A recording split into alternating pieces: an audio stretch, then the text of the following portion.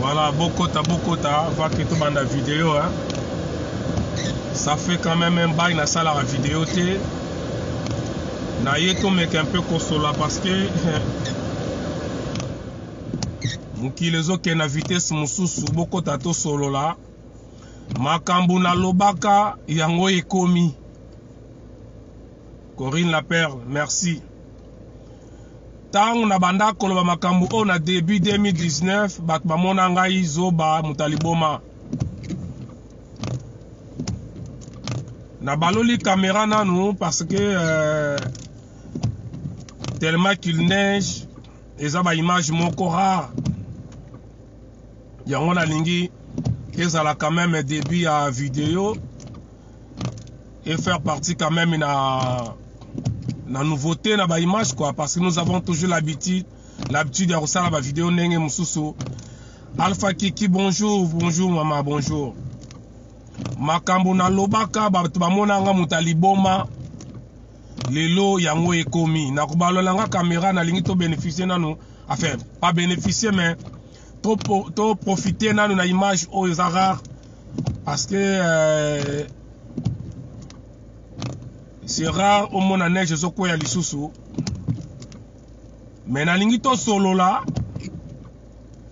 réalité oyo oyo bacongolais to baafricain bazo comprendre te na poto nakozongisa na nga camera kote na nga ne vous en faites pas nalingi tomeka kosolola boyeba to toyeba au moment où bacongolais toza na kati ya distraction au moment où les africains toza na makambo ezanga ntina mokili oyo oyebaki ekufi mokili oyo ngai na yo toyebaki ekufi mokili mosusu eza kobanda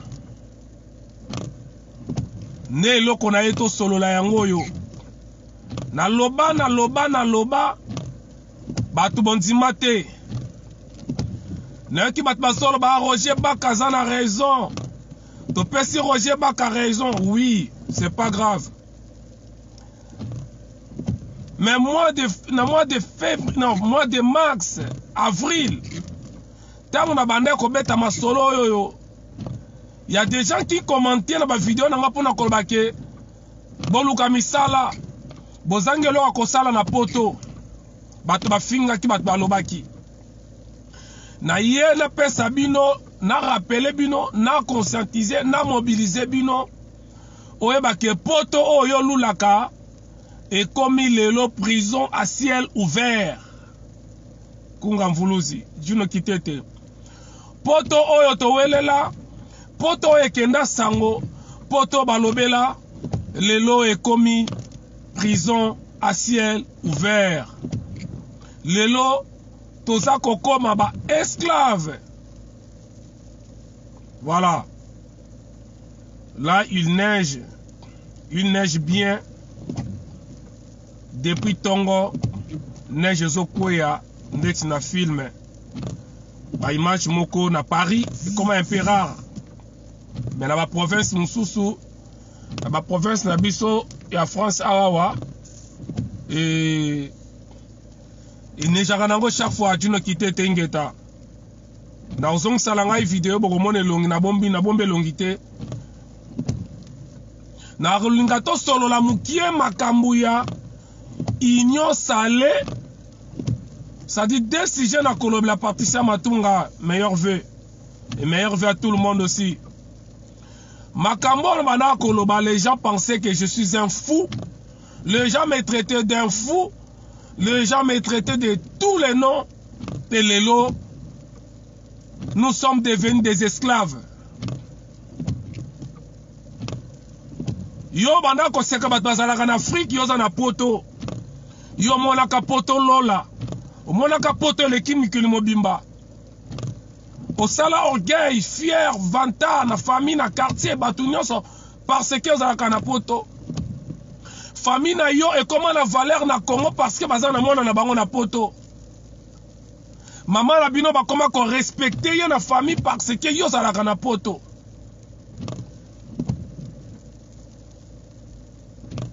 bapoliticien bato nyonso meme le pasteur tout le monde respecte bato ya poto et lelo nous sommes devenus des esclaves naza koexplike bino yango et toi qui pense que ezali toujours théâtre et toi qui pense que ezali bilobela mikolo mukie eza su makambo ya 5 mois te eza su makambo ya bamwa te ya bajour ça fait lelo un an jour pour jour 365 jours depuis na banda kolobela makambo oyo voilà la belle image il neige rbf euh, lupeta marc lushimba na balola camera pasi tomonana ezalaki juste na introduction euh, na introduction na ngai bomona ndenge eza konege voilà mbote na bato nyonso oyo bakozwa libaku ya kolanda video lisusu pour la énième fois pour la énième fois nakolobela makambo oyo oyo ya ba vaccin nakomeka mpe na kompare yango na masolo ya bandeko na biso bakretien oyo bakoma na bible eske bible eza na raison makambo akomaka eske makambo akomaka na bible ezalaka code eza nango makambo bato bakomi na bango babongisaka yango deja babi totia yango na kati ya bible tomema bato na croyance moko boye divine mpo na ntango tokobanda koaplike makambo na biso bato bamona ke wi eza mpenza na nzela ke la bible la deja prédit ndeko s'il vous plaît partager video ça fait presque une semaine deux semaines asalaka sous video direct boye te na facebook Mes bandeko balandaka nga na ba chaine lokola tolobela vie epai ya Papy Gene na pesi mbote na pesi bandeko nyoso ya tolobela vie Elena Garcia, Yvette Matingele, ba banani baza susu kuna baza ebele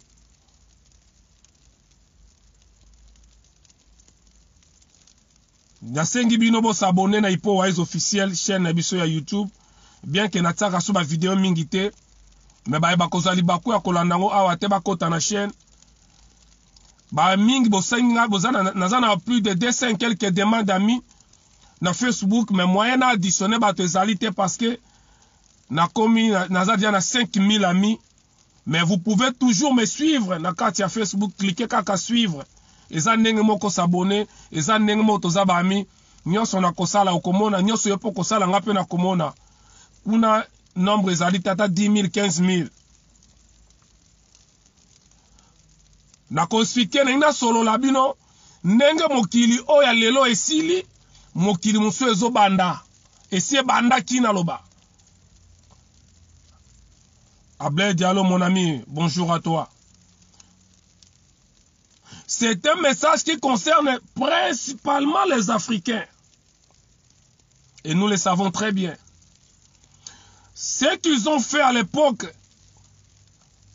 la continent Amérique, c'est la même chose, c'est la même procédure qu'ils veulent mettre en place, c'est peu de Ils ont exterminé les Noirs, les, Indiens en Amérique. Et je vous ai toujours dit, les Indiens étaient des Noirs.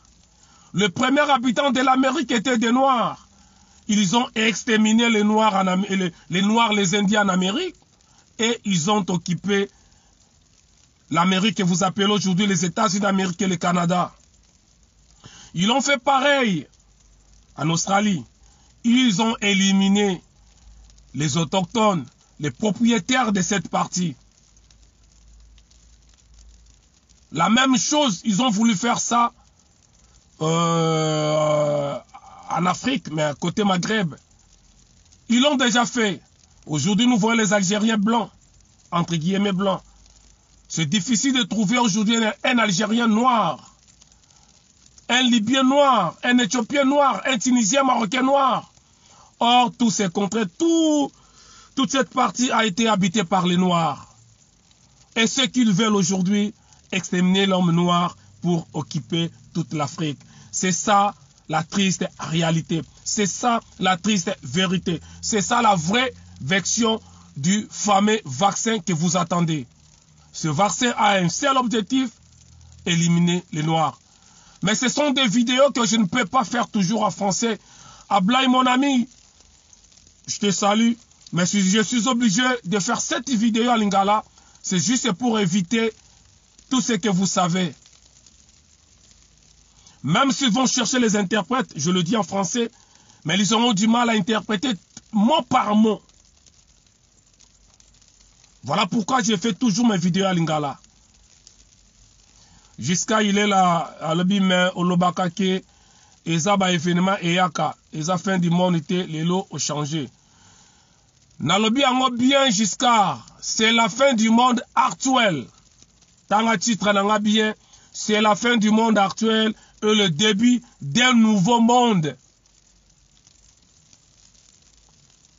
nakomi na titre na nga c'est la fin du monde actuel c'est-à-dire le monde que nous vivons aujourd'hui a pris sa fin maintenant nous sommes en train où nous avons déjà entamé ou commencé un autre monde le titre est bien là partagez la vidéo aimez la vidéo invitez les gens boya lokota parce que bato baza kocontinue na distraction Les Africains continuent toujours m'aider dans la distraction. Or, nous sommes visés. Nous sommes la cible principale de ces vaccins. Les Africains, nous sommes la cible principale de ces vaccins. Il ne faut pas imaginer tout ce que vous pensez là. Depuis 2015, les, les politiciens français ne se cachent plus. Ils le disaient à la télé que nous devons faire de tout de nos miens pour empêcher la démographie en Afrique. Ils n'avaient pas marché leur mot. Qu'ils ont fait de tout, tout alors tout pour empecher la demographie il faut faire tout pour steriliser la femme africaine voilà le but de ce vaccin le détail ça sera en lingala bandeko na nga me bokolimbisa yambo te nabanda makambo ya bavaccin oyo nalingi nabanda moke na makambo ya union sacré ou union salé pourquoi il faut nabeta masolo ya politike oyo mais parce que biso tozali awa toza kosenga bato tozonga mais na situation nini mboka ezaleli okolia nini okomela nini okovanda wapi c'est ça la question ou les questions que les gens se posent waiza c'est bien tolingi tokozonga mais tokovanda wapi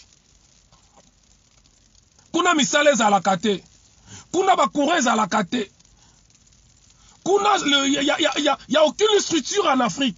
Que devons-nous faire Même si nous acceptons de retourner chez nous en Afrique.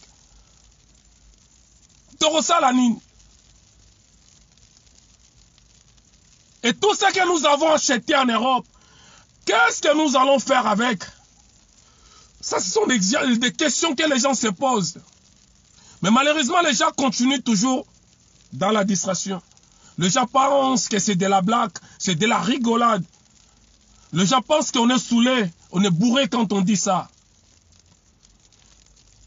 Il y a certaines personnes qui me disent, mais toi tu cries là-bas en Europe, qu'est-ce que tu attends pour retourner en Afrique toi aussi Oui, j'en suis reconnaissant. Mais permettez-moi quand même de vous informer, de vous mobiliser malgré que je suis toujours en Europe. Mais bénéficiez au moins de cette information. Merci, jusqu'à il est là. Je commence par Union Sacrée pour finir avec le verset et la destruction du monde actuel pour le début de notre monde. Je commence par Union Sacrée parce que notre vie en dépend. La politique de ces pays de l'Afrique ezali lié na biso même si nous sommes en, Europe mais cette politique est liée directement na vie na biso je pense que tout le monde a vu Makambo nionso Felix awuta kosala mikolo ewuti koleka. Nakobeta masolo ya vaccin bandeko bokota bokoyoka somo bokolela Shiloh Jehovah Shammah zala wana boyoka Où va le monde où en sommes nous où va le monde est ce que c'est la fin du monde est ce que Jesus azoya mikolo oyo nde bolobaka nde bible ezoloba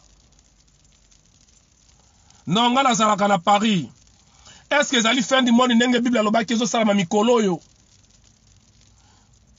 Naye koboya makambo ya bible te, naye kontima makambo ya bible te, nakotiela bino nyonso na mesa e mutu na mutu ako juge makambo nyonso, mutu mutu a mayele ako comprendre. Mutu na mutu ako comprendre. Donc je parle maintenant nangi na banda na politique parce que biso toza lié na politique. Po soki mboka wana ezalaki malamu si les pays africains ou les, les, autorités africaines géraient bien nos pays, je ne pense pas qu'on allait, courir euh, on allait courir, on allait euh, insister ou euh, résister toujours ici en Europe ou continuer ou envier toujours l'Europe. C'est par rapport à cette politique évangéliste R. Caroli. C'est par rapport à cette gérance que nous, les Africains, nous nous retrouvons aujourd'hui en Europe, en Amérique, partout. Nous fouillons nos terres parce que nos dirigeants, bah, travaillent ma Mais par contre, je veux parler, ma Salé. Vous avez tous suivi comment pour, euh, Félix, après ces deux discours que moi, personnellement, j'avais pas considéré, mais je vous avais montré à toute pièce que ce sont des discours démagogiques vides. Des discours qui étaient là pour une seule, euh, une seule, option, une seule optique, un seul projet, distraire le peuple et renforcer ou promouvoir leurs relations avec les Rwandais, avec Hippolyte Kandame. Mais les gens m'avaient traité encore d'un d'un ivrogne, d'un soule, d'un fou. tomonaki felix abika kosala ce qu'on appelle union sacré union sale alobi bakabwani fcc na cash mais mpo na bino eza surprise me ngai ezalaki surprise te bato nyonso tous ces gens qui composaient les fcc tous ces criminels tous ces voleurs tous ces assassins du fcc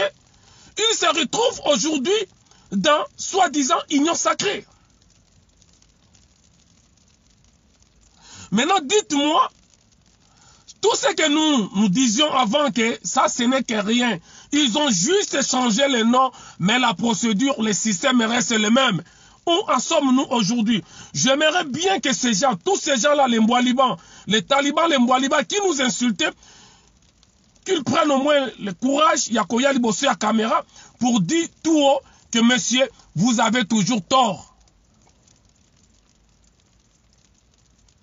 Les Katumbi, les Bemba, je vous avais dit que s'ils sont allés vers Félix, ce n'était pas pour le peuple. Ce n'était pas parce qu'ils aimaient le Congo. Ils, sont, ils, ont accepté d'unifier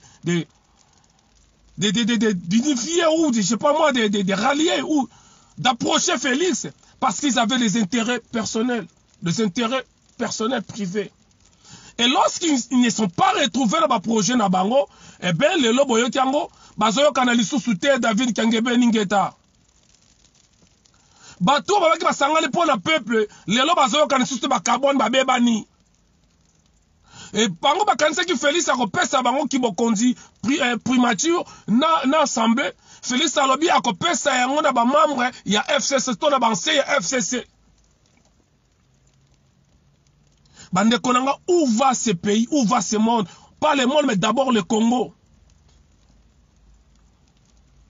déjà comme de mende mende c'est un criminel alongwe na mpr akoti na udps alongo na udps akomi kotravaille soki na umoja soki na journal moko boye écrivain journaliste alongo wana akomi terroriste mende batya babombe meme na la voix d'isaïe à l'époque na toilette moto akoti na toilette afina be bu bombe sote na kati ya la voix d'Isaïe le mende na pose na Congo na Gombe ba mende batia ba bombe qui ne connaît pas bato bayi masolo nyonso wana Felix le sait très bien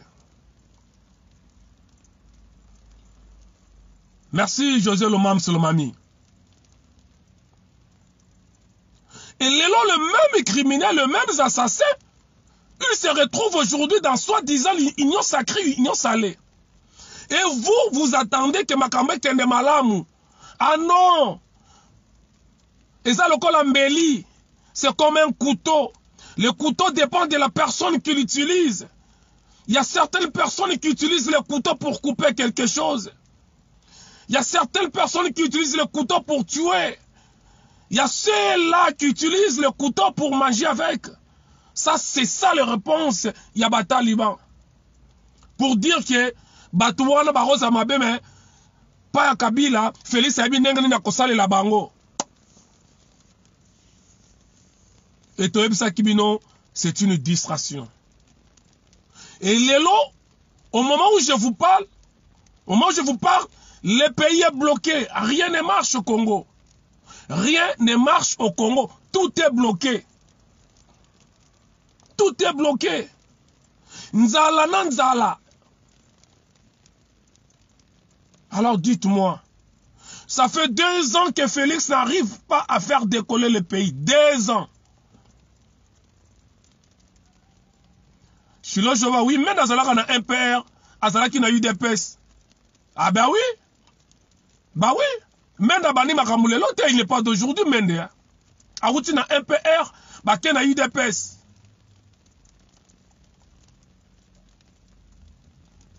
ntango azobisa félix ke afune na passé azoboya parce que félix ne peut pas funer dans le passé tout en sachant que l'udps lui-même félix il fait partie de ce passé qu'il refuse de funer fouiner dans le passé pour Felix c'est alingi wana eza kobeta bale na mutu ye moko c'est se suicider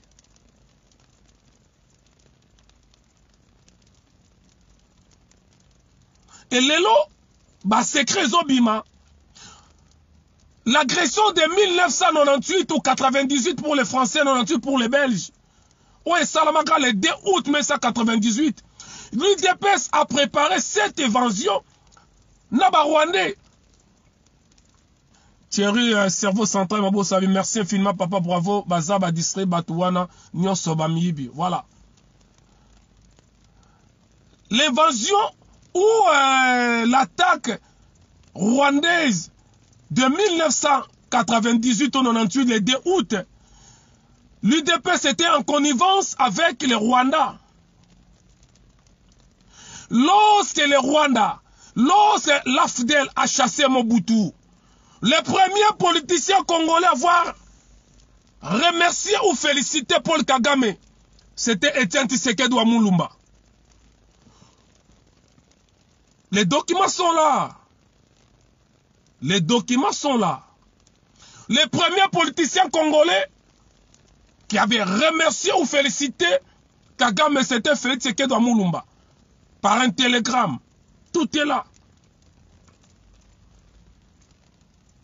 Et en 1998, l'attaque de 2 août, la personne qui travaillait comme agent de liaison, c'était Félix Tshisekedi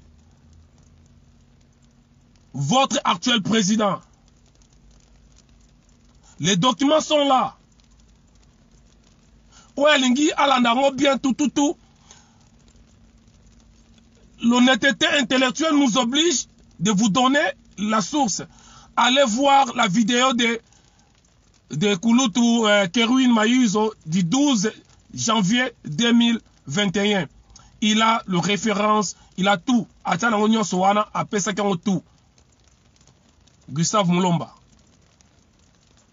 ba document eza wana tango afdel aza koya anoma ba gouverneur na ba ville ezalaki bato ya udps je sais que bato ya udps bokondima yango te bokoboya mais la vérité tetu badocument lelo ebimi soki okocontredire ngai ngai naza koreleye badocument oyo mundele atie na mesa lelo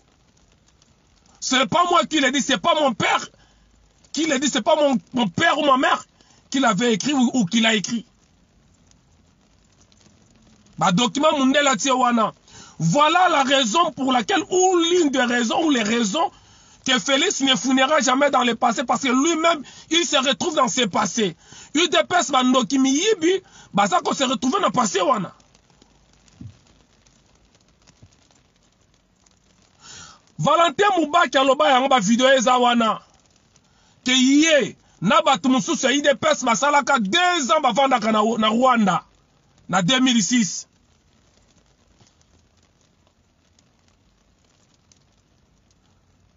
ba cadre ya udps basala 2 ans na 2006 bavandaka na, na kigali eza ngamu nalobi te se valentin mubake allez voir sa video la video est là maintenant bayebisa biso bato baza koagrese biso bino nyonso boyebi basase bato wana bacriminel bagénocidaire baboma peuple bino bokozwa siège ya mibale soki siège nini bokefongola na kigali c'était quoi leur démarche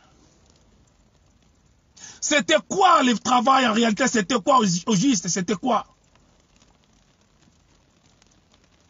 c'est parce que l'UDPS a été toujours avec les Rwandais depuis toujours. Dortin Puila, batala na politique ba yebiye. à l'époque ya Etienne Tshisekedi bandengo wana celui qui était le représentant de l'UDPS dans, dans Benelux c'est-à-dire Belgique Netherlands c'est-à-dire Hollande na Luxembourg moto abanda kodirigaki docteur Mpuila et tout le temps na badocument oyo ebimi lelo ye azalaki na bareunion chaque fois na barwandais na hotel wana na uxelles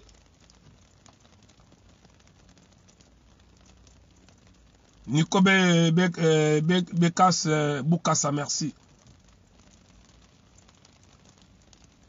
Donc, yango bamonaki muze nyonso oyo Etienne Tshisekedi abandaki kosenga ye asala muze atikalaki kondima Etienne Tshisekedi te parce que ayebaki ke c'est un démon akangi ye azongisi ye na zamba etangu Etienne Tshisekedi makambo azosenga pa ya muze muze abokopesa ye abalusi minduki et d'ailleurs ntango Kisangani ekweyaki ntango Kisangani ezalaki tombe Etienne Tshisekedi a été invité officiellement na Barwandais na, na fete oyo esalamaka na Kisangani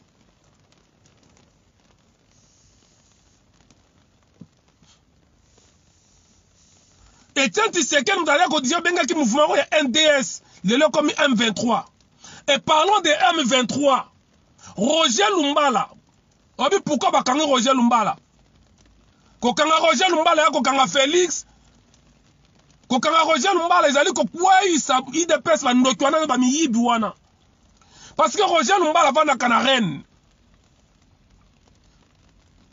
Batinda ye na poto pona ko representer udps.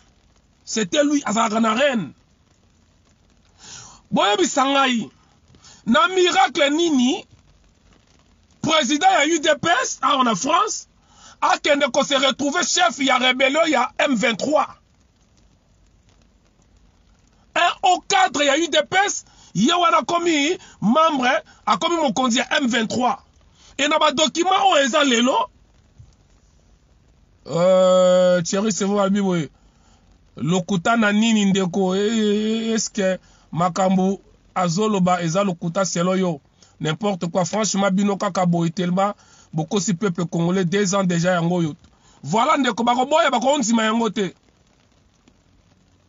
roger lumbala président ya udps na france azovanda na reine akei kokoma mbala moko mokonzi ya m23 e na badokima eza na mesa badokima oyo bokoboya stupide clair noir sur blanc ke mutu oyo atindaka roger lumbala mutu oyo arekomandaki ye akende kokoma chef ya m23 c'était etienne tisekedi après bolobaka pe ya sonam ah non etienne tisekedi akozala na kimia te site azali soki lifelo existaka moto lokola etienne tisekedi fo azala na enfer Si l'enfer existe, Etienne Tshisekedi doit, se retrouver dans l'enfer. C'est un démon.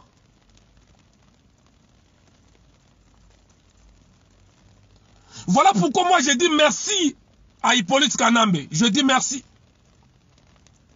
Bandeko, nalobi merci na kanambe sikoyo fo tuna nga pourquoi merci na kanambe nalobi merci na kanambe parce que ni tete kanambe tolingaki toyeba face ya idps te et vous vous pensez que félix akokanga kanambe vous vous pensez que félix akobalukela barwandais barwandais baza na dossier ya félix boye boye ya munene qui ne date pas d'aujourd'hui agent ya liaison ya udps na kigali c'était félix parce que moya basolola batelefone ezalaki te so bazosola yango na telefone bakoyoka bango na baonde ya bamindele ifalaki mutu moko ase deplasaka Et ces documents prouvent que Félix, 1997 ou 97, de 96, 97, 98, Félix a effectué qui va voyage et belé na Kigali.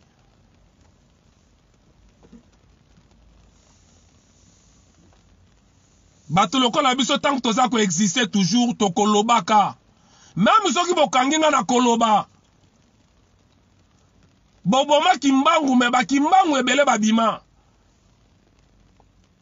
et vous vous attendez que Felix afouine na passé passé oyo ye moko azali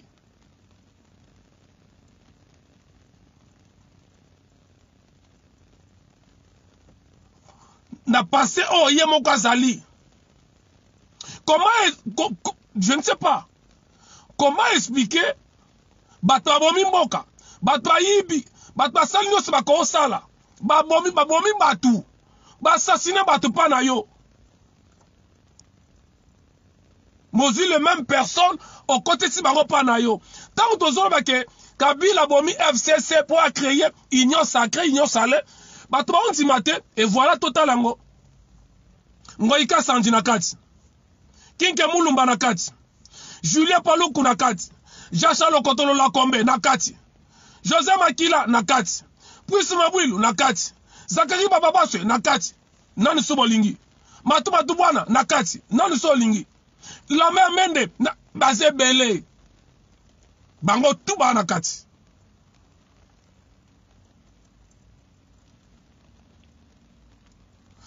Tout ça c'est parce que tellement que pression ekomaki makasi bandeko nakosisa parti ya politiki oyo nawabeta masolo ya bavaccin bomona ndenge nini mokili mokili mosusu ebandi e nakoyebisa bino nini eza koya mikolo oyo e tokoyeba eske biblia elobaki bosolo to biblia elobaki lokuta est ce que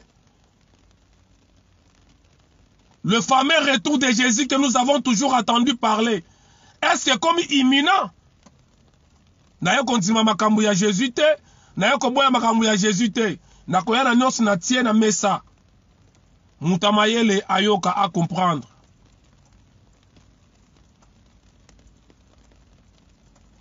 donc c'est tout à fait normal Bomona que Felix ako fouiner jamais na passé ya ba criminel wana. Moïse Katumbi na Bemba basimbi touche ba miyibi. Batali ba bakomi suko finga ba na ba bofinga suba. Moko akomeli ngai masa moko Pierrot akomeli nga. Bemba na Katumbi bayebaka yango solution bango ezaka pa ya Felix. Soki basali buzoba bakotelenga tokobeta bango tokobwaka bango kaka sikoyo bautokumisa bango kala mingi tawa. kala mingi te bakumisi bemba na katumbi awa kala te awa me babandisi kofinga bemba na katumbi deki deki ingeta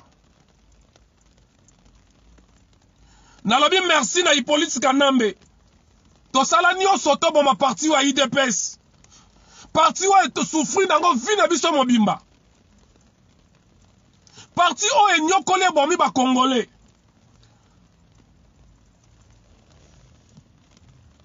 bonjour jesus is coming soon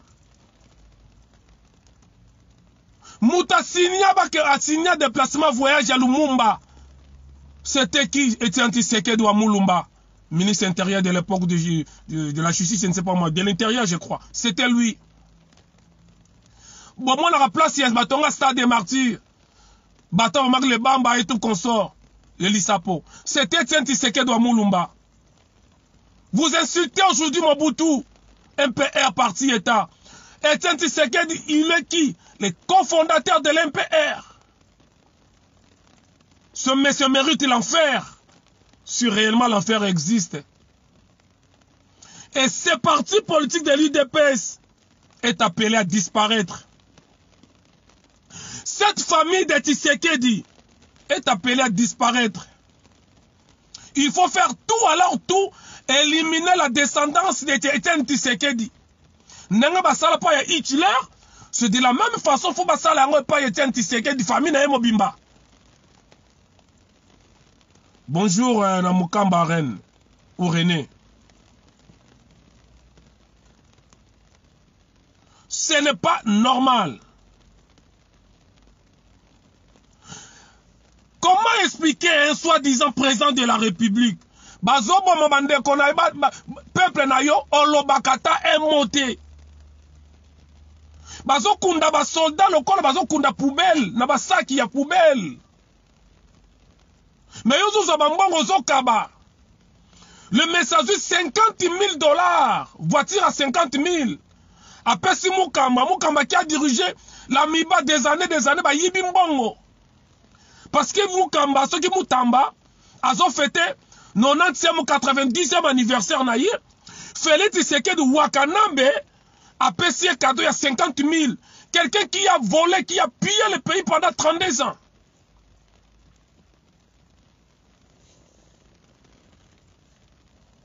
moto ayibi mbongo pendant 32 ans oke susu obakisi esu 50 000 au moment où basoldat na biso bazokufa bazokunda bango meme pas na cercueil epe eleki na tv baekole ezangi meme baban bana bazotanga ciel ouvert A ciel ouvert boye moyi ezo zwa bango mbula ezo zwa bango na 2021 en pleine capitale s'il vous plaît.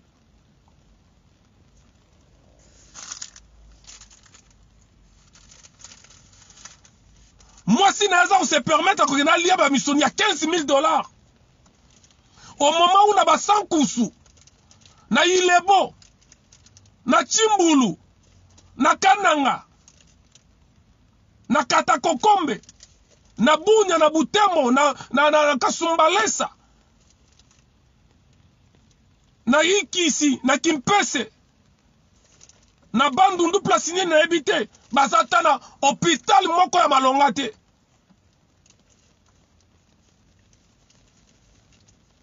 mais vous allez voir les gens so oloba makambo oyo jaloux ya biloko motema mabe Zubazo Lukanini, ça fait deux ans les mecs n'arrivent pas à faire décoller le pays. Mais ils touchent 2 millions 70 000 dollars par mois. Na mois moko azwaka 2 millions 70 000. Eleki meme salaire il y a 5 ans il y a Donald Trump. Salaire moko ya mois, ya moko. Salaire moko ya Felix eleki 5 ans ya ya nani ya ya ya Donald Trump. Année moko ezalaka na 12 mois. Soki ozwi 12 fois 5 60 mois. Donc salaire moko ya Felix eleki 60 mois ya salaire ya Donald Trump. Qui peut comprendre ça si c'est pas que les talibans qui peuvent comprendre ça? oloba boye bato ya ngwanda makambo ya ngwanda wana bino bato ya ngwanda ba oui naza moto ya ngwanda j'assume ah bato ya ba, bino bato ya fayulu bino bato naza moto ya fayulu naza fayulu depuis 2016 depuis 2016 na accompagnaka fayulu 2016 bakoma na kolinga fayulu te na moma oyo fayulu alobi no na barwandais yo olobi wi il faut ozala moto olingaka kongo te mpo banda koapuye felix mpo so olingaka kongo makambo jeune wana garçon wana azosala se garçon la de felix okopesa okanda wi na mukama rene basangani bandoki basangani bango na bapanzani ye eh. lelo bapanzani bapanzani embala moko mpe katumbi kutu mopepe se esila bemba kutu se esila bafinani bien bien e malgré ses défauts moto lokola fayulu aza mutu oyo aza na mindele na sima na ye c'est le seul qui dit qui dit non face à barwandais c'est lui c'est le seul qui est ce politicien na niveau ya fayulu oyo akomaka na point aloba makambo ya minembwe makambo ya rapport mapping à part de, à part denis mukwege qui n'est pas un politicien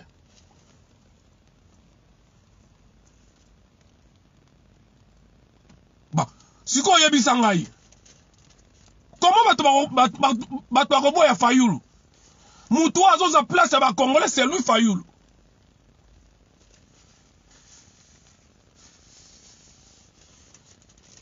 ces partis politiques est appelé à disparaître.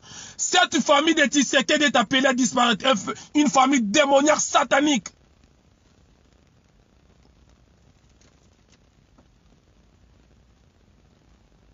5 ans oyo ezosila osala eloko te olingi ozonga d'ailleurs asala transition ya 2 ans après basala baélection atriche susu c'est-à-dire avanda pendant 12 ans na pouvoir ça je vous le dis félix aza na projet akosala 12 ans ou 15 ans na pouvoir mpo na eloko nini e makambo ngai naloba bato boboyaka apres bopesa nga raison ntango nayebisi bino ete bemba na katumbi na felix cilombo wakanambe babebani bato bandima ye ngai te lelo bomoni yango bamiyibi bandoki de voleurs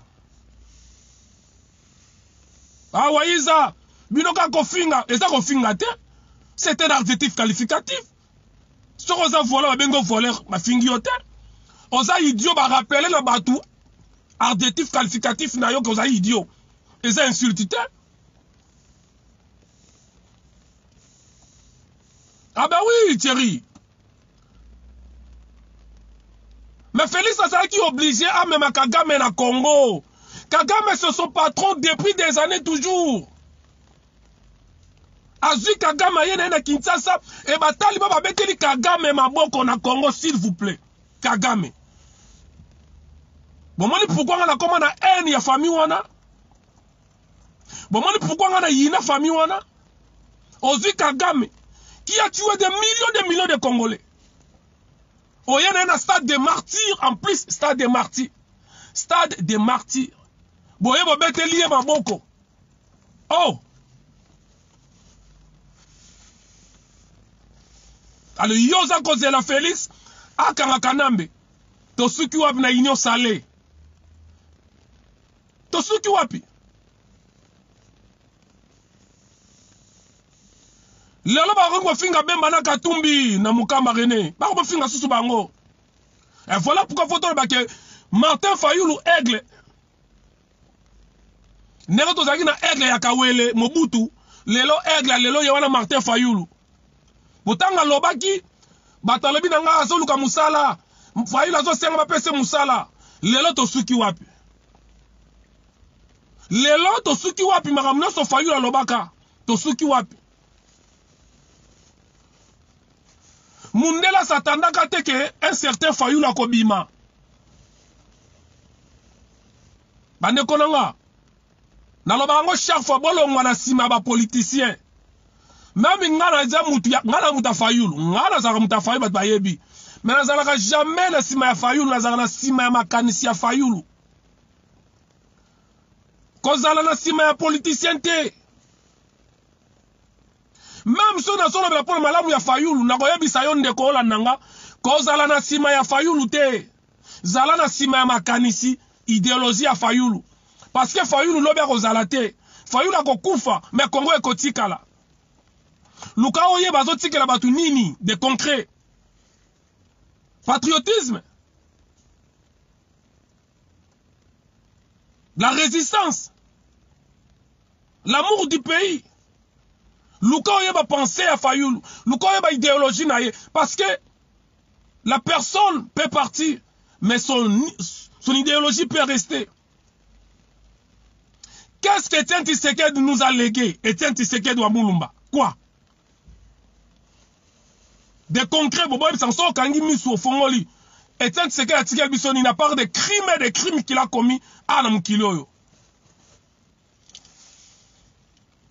Kimbangu soki aza na esika ozali apesa yo fimbu ya solo solo. Famille ya bandoki miyibi. Bato baza kokufa. Bato bazozanga biloko ya kolia. Bino boza ko bozoya pe bozwa courage ya koswete bato ya joyeux Noël ba ba opesa te ba meilleur vœux. Na nini na bino bopesaki peuple wana? Kende na matanda ta bato bakufa. kende na masimandima na bandundu na rapelaka bino na, e, e, e, na, na, na equateur ça fait wi mois yango nalobaka yango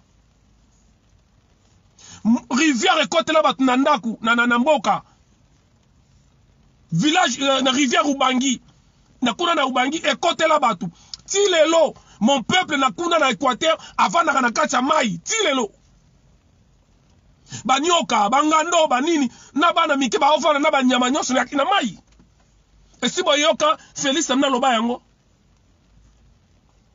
na kinshasa na kinshasa vya bamaluku wana bato bafanda na kati ya mai mai ekoma bavere boto banyama banini bato bazofanda wana na 21e siècle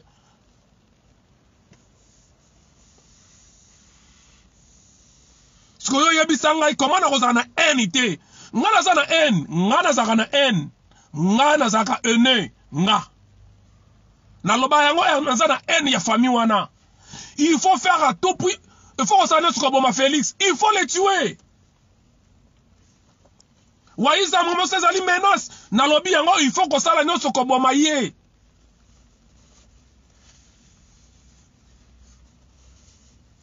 parce que bokumisaka david mpo abomaka goliath lelo bakoma kokumisa david aboma goliath lelo goliath ya congo s'appelle félix tshisekedi wa kanambe et nous les david il faut totelema toboma goliath wana na famille na ye de peur ke bagoliath mosusu babima te Goliath ya papa akufi abimisi Goliath ya mwana Etienne Tshisekedi atiki Felix. Asangani na bandoki wana babemba bakatumbi. Merci na Hippolyte Kanamba alias Joseph Kabila. Soki Kabila te tonga tomona bato oyo nyonso te. C'est un mal nécessaire. Kanambe c'était mal nécessaire na Congo faut kolobaka merci na Kanambe. Grâce à lui IDPS ekufi tomoni kindoki na bango boye. Quelquefois, le malheur est bon. Quelquefois.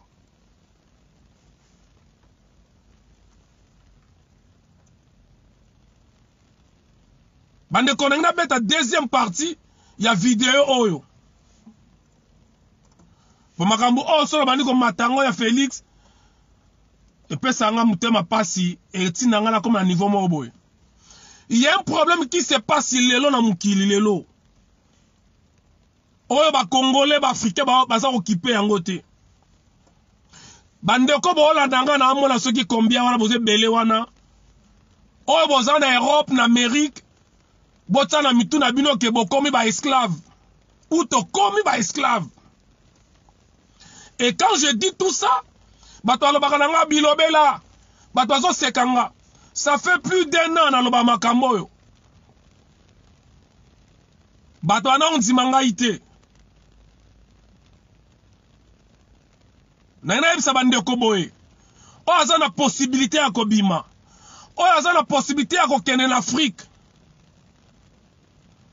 abima kende soki oza na posibilite ya kokita na congo mbala moko obima okende soki oza na posibilite ya kokoma na n'importe quel pays mosusu ya afrike bima okende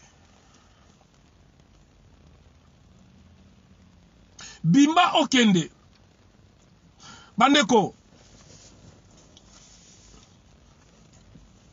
bopermete ngai nasangisa evenema oyo oyo na oyo toyokaka na livre ya histoire ya bible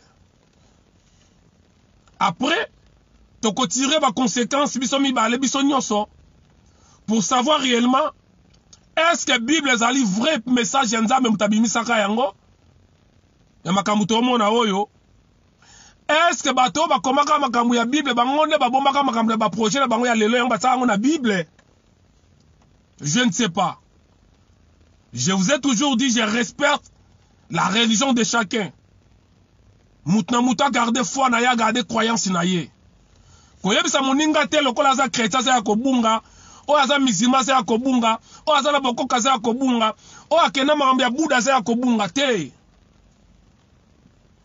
yo yaka loba oyo oyebi tika moto na moto azala azwa conviction ya makambo ozoloba bandeko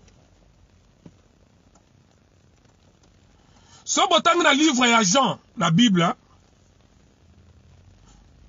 oyo vision oyo jean amonaki na ile ya patmos on parlait sur la grande tribulation na bandi nango bokocomprendre makambo eleka sikoyo sikoyo e tokosala mena parallelisme toyeba soki eza bilobela bato bakomaka babombaka kuna to eza makambo ya nzambe est-ce que Jésus aza koya kala mingi te awa la la bla la est-ce que est-ce que toyoka tososola to analyse ensemble Jean na ile ya Patmos baza koexplike ye makambo ya mark ya 666 me ngai esi na explika bino numero na 666 na rien avoir na mark de la bête ezali kombo ya mutu le meme nom na hebreu epesaka 665 le meme nom na arameyen je crois ebimaka 666 esi nasala ba video na explika bino yango kombo numero wana ewuta wapi si nalobela yango donc bomonaka wa 666 marque de la bete te ça n'a rien à voir na rien à voir et bon comprendre tina akoma na suka video bo comprendre que 666 n'a rien à voir bazwa juste makanisi ya bato baorienta badesorienta yango batinda yango vers eloko moko boye e bango baasala likambo pembeni bazwi pense ya bato babloke surtout les africains bazwi bapense na biso batindi yango na makambo ya marque de la bete 666 o antichrist akoya bokoyeba antichrist wana na explique bino me nalobi te ke makambo ya biblia lokuta ekoki ozala vrai me eske ezali na forme oyo oyebi Moninga Neko Ngabi zongela moke makambo ya 666. Ezali message mulayi mais nako zongela message yango nakomi na makambo ebele awa il faut nanu masolo ya ba ange mais na masolo ya ba ange nako beta yango mwa ndambu. Alpha euh, mama na nga Alpha aza wana nako beta yango mwa ndambu. Mais nako ya na masolo ya 666 ezali kombo ya mutu c'est le nom eza kombo ya mutu a exista na mokili oyo. 666 ali kombo ya mutu soki okalkile bapesaki yango me nakoya na badetail na koexplike yango na kozongela video yango nalobi te ke bible ya lokuta e nalobi te ke eza vrai on va analyser ensemble merci euh, richard malonga donc na kati oyo baoyo masolo ya la grande tribulation Isaac Nkela, la grande tribulation ekosalama na deux étapes.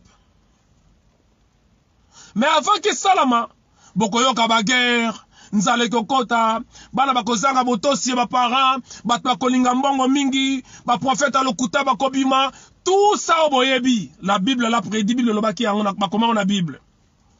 Mais nyoso wana ebandi pe lelo te. Na tango wana histoire ya Jésus ndumba azalaka. Na tango ya Jésus bato balingaka mbongo bazalaka. Il y a deux ans, ba six ans, ba nini, ba, ba, ba nini, ba nde uto leka tremblement de terre ezalaka, nzala ezalaka nango. Donc mpo na ngai tokotelema te yango basigne ya liboso ezolakisa ke ekokisami jusque là non pas encore mais avançons bo partage video bo aime video parce que makambo wana alobaka bakongole ebele balinga kobeta masolo ya boye te ebele merci kim nul donc la grande tribulation ekosalama na deux étapes avant wana na explike bino première étape ekosalama 3 ans et demi donc nyonso ezala 7 ans alors sept chiffre pourquoi kaka sept et nous savons tous Le chiffre 7, c'est le chiffre de perfection. Et quand solon, solo a 7 wana et la tribulation la grande tribulation a deux étapes première étape ekoya ekosala 3 ans et demi mais avant ke esalama bandeko bolanda nga très bien eric david, david oui bolanda nga très bien mpo bokanisa te naza kose komplike oyo aza na question soki acomprendre te ayebisa nga na obandela mais avant que première tribulation ebanda il faut que l'enlèvement esalama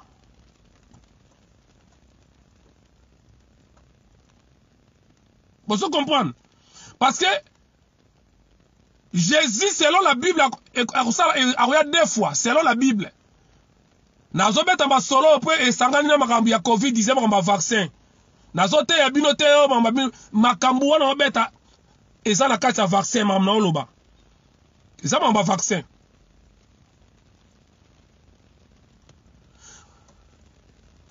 nini ekosalama ekosalama enlèvement ekoya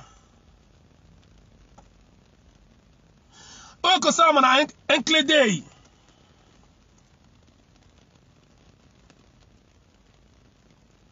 après makambo nyonso omoni banzala banini banini banini pa otaleli na bishilo jehova aza te otalebe jesus is coming aza te obenga na londres baza lisusu te oluka intel baza te oluka eric baza te oluka eh, alpha bato nyonso oluka bango baza te deki deki eh, oluka isabelle kamwani aza te enlèvement esalami epa apres wana eloko nde ya kosalama nde sikoyo bakobanda kopesa bato bavaccin soit disant na senga bible bakotia bino kashi ya 666 soki oza nango te okosomba te oza nango te okotambola te okomata busi te okozwa train te okovoyage te victor mwana mboka ingeta donc c'est exactement ce que nous voyons aujourd'hui lelo couvre-feu bana 18 heures ntango ya confinement tomonaki yango soki oza na testation te okobima te okotambola te okokota na magasin te okokende makusu na magasin te premier test basalaki yango ya vaccin ezalaki ya masque baoblige tout le monde na masque tout le monde aobei premier test ya vaccin ezalaki na masque or que masque yango protegeaka rien masque eza na eloko te protege rien mais soki masque yango ezo protege biso na maladi mais botika biso tolata bamaske libela vie mobimba et j'accepte parce que tolati bamaske pendant un an soit disant qu'ils ont protégé malade mais soki déjà boza na masque pourquoi encore les vaccins boyebisi biso tosokola maboko na ba désinfectant mais pourquoi encore les vaccins donc il y a quelque chose qui se cache nakokoma na place wana mais nazongi nga nalie yango na masolo ya bible parce que yango nde tobanda koyoka kala banda kala après wana baoyo bakondima vaccin te tutututu baoyo bakoresiste baoyo bakosala soki ndenge nini nayebi te après makambo nyonso wana 3 heures demi deuxième avenement ekozala koya ya mibale ya jésus là je insiste selon la bible richard malonga mais au contraire masque eza kopesa eh, rime na étouffement mais bien sûr selon la bible deuxième koya ya jésus ya yesu te ya jésus bible elobi boye tout œil le verra miso nyonso ekomona ye donc balobi ke akokita likolo ya, ya montagne ya mons olivier selon bango Montana ekokabwana na deux parties. nayebisaki bino nazalaka kala evangeliste nayebi makambo na oloba na maîtrisa yango montana kokaba na deux parties ntango ye akokita likolo ya montagne wana ya mons olivier baye bakufa bakosekwa E bakomata na elongo. Bokomona bango na misu bene baomata.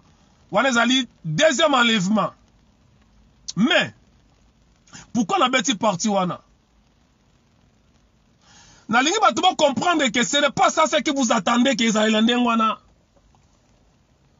ne pensez pas que bomona bato nde baomata boye ke akiti boye mokili bobe mona ye boyebisa nga nanu soki akiti kuna na israele na bango esalamaka na 1948 oyo ya bandoki ya bademon parce que israel wana eza ya bailluminati ba la israel oyo ezalaka awa bailluminati soki ye jesus akokita kuna oh. ebongo sikoyo koko na ngai oyo aza kuna na, na ituri amone ndeni po bino bobiki miso akomona ye donc miso na biso nyonso ekemona mosika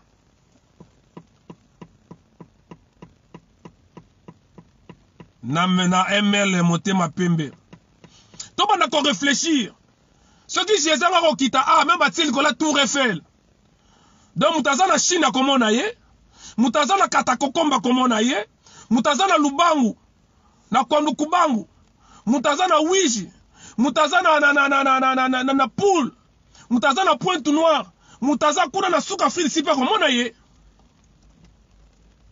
non misu oyo boyoka misu wana ezali internet ezali internet napesa bino exemple mukolo Michael Jackson akufaka mukili mombe tala yango en direct na moma moko c'est ça misu oyo ekomona evenement monene soki ezosalama monde entier etala yango en direct Internet yango na nde misu. Kozela yango na misu ozomona oyo te, misu oyo te. Soki ozokanisa misu balobaki nde yango oyo, Alpha Kiki. Si vous pensez que misu boyokaki yango oyo, non. Ingeta Masamba Pedro Joaquim. Lelo, so ba remplacer pape nde tomona bakoti mpo pape moko abima. Baozela fume blanche ebima. biso tout totala yango en direct coupe du monde si ezobeta biso tout totala yango au même moment soki batie eloko moko en direct na chaîne moko ya monene oyo eza koengage monde entier biso tout totalaka yango tomonaka yango au même moment yango wana boyoka bayaki no tout est il verra miso nyonso ekomona ye na mbala moko Portemone de David tout est possible à Dieu mon frère oui na tse nzambe na te tata nzambi na na na doute te mais nalakisa yo ke tout est codé baloba yango boye te la marque de la bête c'est pas le 666 c'est le vaccin marque de la bête c'est le vaccin et jusque là nazo nazo douter makambo ya biblia ya koya ya yesu te naza kondima yango te nazo doute na yango te mais naza koanalyse l'ensemble eza réflexion na osala ise kinkelabi yango wana misu, eh, misu oza na raison tu as bien vu merci beaucoup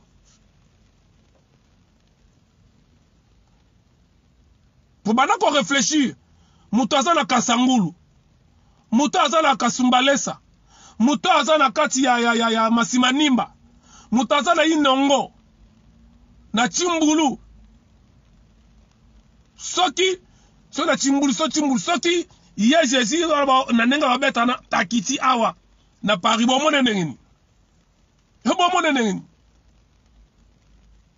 Ça dit eza ba événement oyo bolozala partout. Ce n'est pas pour rien ba créa ba créa internet. C'est pas pour rien ba sala ba technologie oyo. Mais nda avancer. Parce que mingi akolobezali. Bozala scotché bo partager vidéo. Meme soki ekozala mulayi mais bato bakataka bokata botia na ba chaine bozwa na bino botia mais je veux que mon peuple azala conscientise azala informe ça fait un an nga nalobaka makambo oyo aucun congolais abanda koloba makambo oyo les gens pensaient que je suis malade moi Tango na banda yango un an passe, les gens pensaient que je suis malade. Boluka misala, bozanga eloko kosala, oza liboma, ekosalama ndenge nini? Nga kala mingi te nauta kokoma yango napesa bino badate oyo bakokonfine bato bacouvre fe na mire na nga ezali bato bandimaki nga te me yango ezosalama sikoyo na janvier nayebisi bato ke felix eh, jean pierre bemba na katumbi bakabwani na felix bandeko février 2019 à l'époque moto ezoyinda jean pierre bemba na katumbi na fayulu baza bomoko me ngai naye nayebisi bato bato afinga nga bandeko mosusu bakombata bafinga nga mama mongo azalaka na lila afinga nga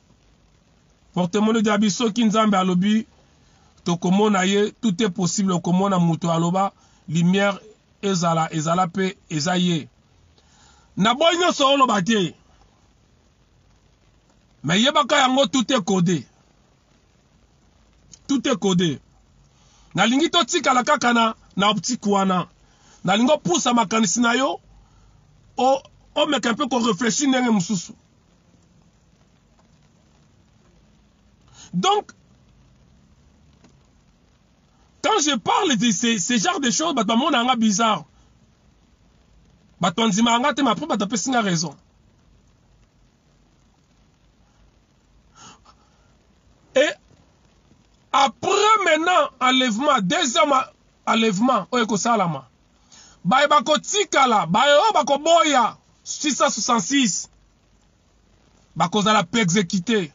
Okoluka liwa, liwa ekozala te. Okosala banye pasi ekozala ya koleka. Mais bandeko, c'est exactement ça le vaccin. Na mai 2020 nasala video moko nayebisi bino ke Etats-Unis atonga ba prison mpo na kokanga bato. Bresil atonga, Chine atonga, France atonga ba place ebele. Victor mwana mboka abi le, le 26 février Facebook azo contrôler ba réseaux sociaux. Ah, et bana partir le 8. Et nazo senga na bino bo installer application ya Signal. Merci pour le rappel Victor mwana mboka. Bo installer application ya Signal. parce que mukolo facebook oyo oyo ye moto asomba whatsapp olinga olinga te bakorekolte bainformation bana kocontrole yo apartir ya whatsapp parce que petit wana jeune wana azali attends lorsque vous, vous cherchez antichrist c'est qui antichrist tosolola nanu vous pensez qu'antichrist mutu moko akobimaka boye non banda komituna bato oyo bazwa bamiliare bazwa yango wapi moto lokola mark zurkeberg natangi nkombo na ye akende kobloke pre, président de la république ya états-unis barepousse yango 3 mois portement na bi nyonso bakosala nzambe ekolo mokili na tour de babel bakanisaki bango banzambe tutu voilà donc oyo balobaki ekosalama moto akoboya 666 yango oyo vaccin vaccin yango oyo eye josé lomam sabi merci waiza ata jésus bandima ye te loba oyo aza na matoi ya koyoka ayoka mpe andima oyo akoboya etali ye kaka merci oyo tozo vivre lelo c'est ça marque ya 666 kozela te omona bakoyaka kashe bakobeta na loboko omona yango te botika omona yango te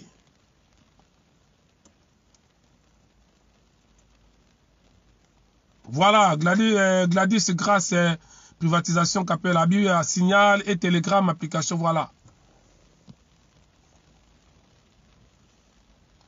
bokotikala vous attendez babe tokatie na loboko omona yango te mais il y aura une puce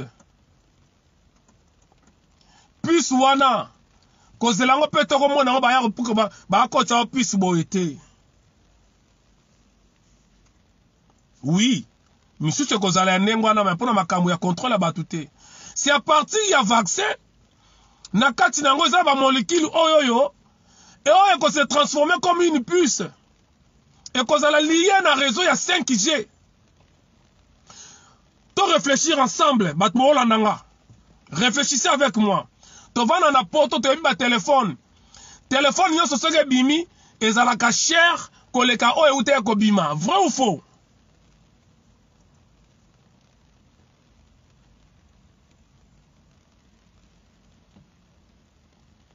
Jesus coming abi papa waiza rien à voir avec leur technologie nzambe aza nzambe la bible nous dit na tango ya suka mayele ekomata makasi ok pour témoigner abi euh, toutefois mutu na mutu abongisa na nzambe na ye voilà c'est ça loko na oloba bandeko toyebi yango bien telefone ya sika soki ebimi elekaka telefone ya kala cher toyebi yango très bien mais comment expliquer oyebi ntango huawei huawei ebimaki oyo yaki makasi yaki p20 epuis p20 euh, light pro ezalaki na 1050 euros nazalaka nango très bien makasi chariot na ngai ya mosala mpenza chariot na ngai ya mosala mpenza ya kases 3 mashine ematela yango me nasala yango su 2 ans oyo eye kobima yaki p30 ezalaki cher koleka p20 c'est normal technologie na kati ebakisami mais pourquoi p40 ebimi oyo eza na technologie avance olie ezala plus cher ezali moins cher koleka meme oyo ebima kala tout simplement parce que na p40 ezali compatible na bapisi ya 5g okoyebisa nga wa eza me pourkui kaka olobeli kaka huawei baappareil eza ebele pourkui ba oui parce que tout est centralisé na chine nyonso fo bima na nzela ya chine yango omoni donald trump mpo balongola ye baosala to balongola ye parce que azotelemela chine La Chine qui contrôle maintenant makambo ya monde ya États-Unis mais balingi ba continuer kaka na Chine mais Donald Trump zala libanda. Huawei eza ya ba Chinois. Initiateur ya 5G. Le premier pays qui a testé pour la première fois le 5G, c'était la Chine.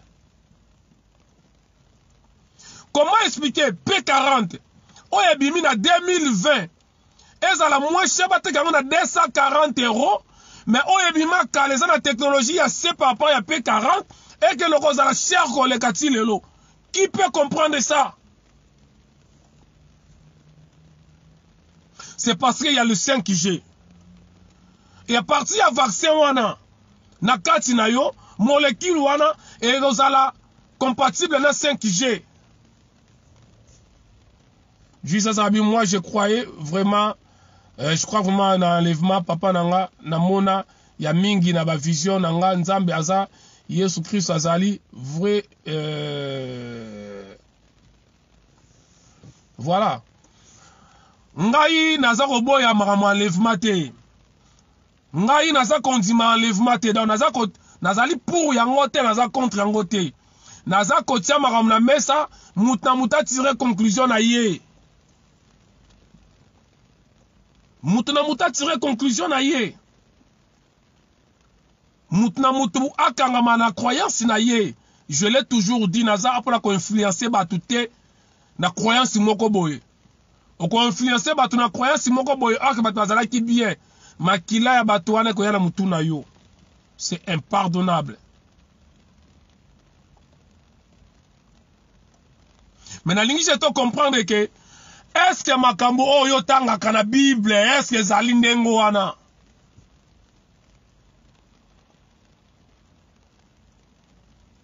elelo toloba boye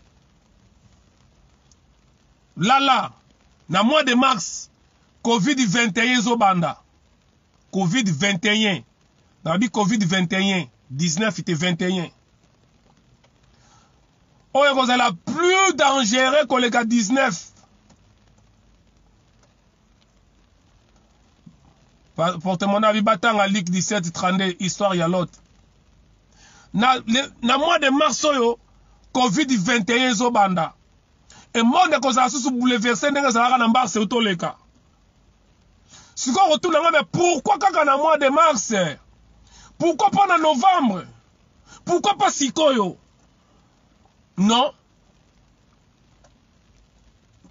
il faut nyonso esalama avant ete eya Avant moyi ebima. Avant moyi eya. Il faut esalama. bokomona yango kala mingi tawa bopito bato bakozanga su bakufa makasi tititititi na mois de mars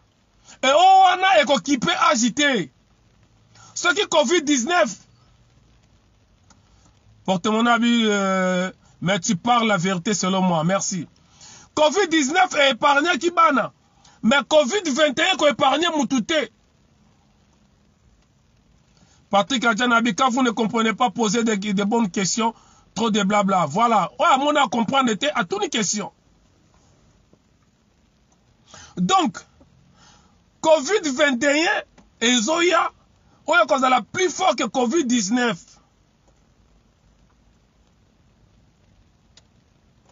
Jamila Rajab Abimbuta, je suis très fier de toi. Euh, tu as, tu as l'esprit libre. Beaucoup de Congolais sont des inaptes. Yango ba Rwandais bazosaka na biso. Matondo Mbuta. ou maman na ye toza mwasi to mobali yaya ombuta merci me boomona na citation oyo bakongole baamona kaka tosala théâtre bilobela na banaka masolo oyo oyo ekoma yake boye ezalaka boye te lelo bato bapesanga raison bato babana o oh, eh, eh, roger baka azalaki na raison ça c'est bien merci na mon frère roger baka mais ça fait un an nalobela makambo oyo Mais Waiza esi ebandi deja oui ewuti na Londres. Mais na, papa, papa nazoloba yango bandeko na nga. Jamil Abi lobi deja balobi coronavirus 20 ezali deja 20 deja deja vraiment mbuta wumela.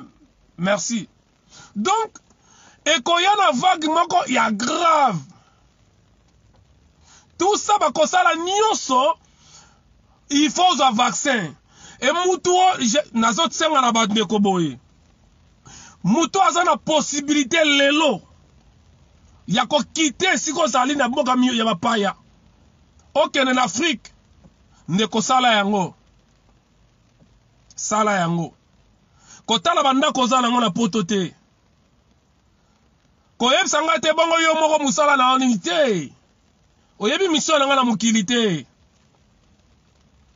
ngai na yo toza na chiffre moko te ngai na yo towuti na planeti moko te toza na nature moko te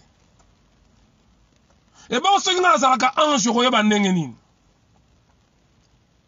ebongo soki ngai naza mpo na sacrifice moko naye ngai mona okufa bato babiko koyeba ndenge nini sel lui l'être supérieur ayebi makambo merci efutulu isakola jean robert abi bonjour ndeko ozosobola kitoko merci beaucoup koluka oloba otinda ngai te bango yo moko siko te yo nakoloba yango odeki deki na afrique mpe bakovaccine nakoloba yango d'ailleurs c'est l'afrique qui est, qui est visée c'est l'afrique